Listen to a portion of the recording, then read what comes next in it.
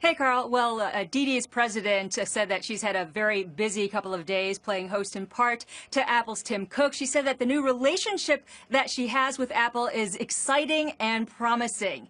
Uh, she said that the companies haven't known each other for very long, but she is really excited about what she describes as endless possibilities for future collaboration.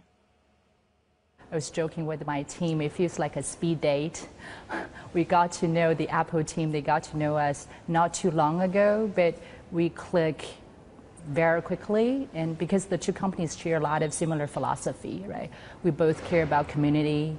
We both want to have a collaborative and inclusive culture as a company culture. So that gives a lot of common ground right? And in the same time in china we actually share a huge overlap in customer base. Our driver base, our passengers, they use Apple, you know, iPhone a lot, iPad. So I think it's very intuitive.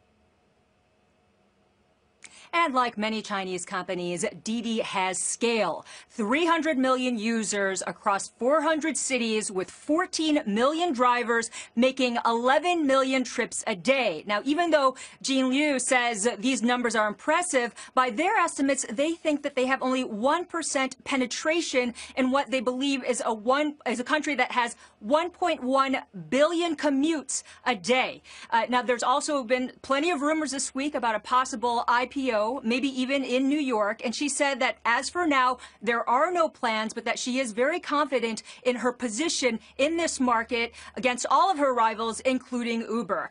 Uh, the uh, one thing, though, uh, Carl, I think that you're going to be hearing the name Didi a lot more, so I thought I'd explain it a bit more. Didi is Chinese for beep beep and Chuxing means mobility or commute. So they changed the name from Kuaidi, which is fast taxi, because they want to say that they're moving beyond taxis to all sorts of transportation. Back to you.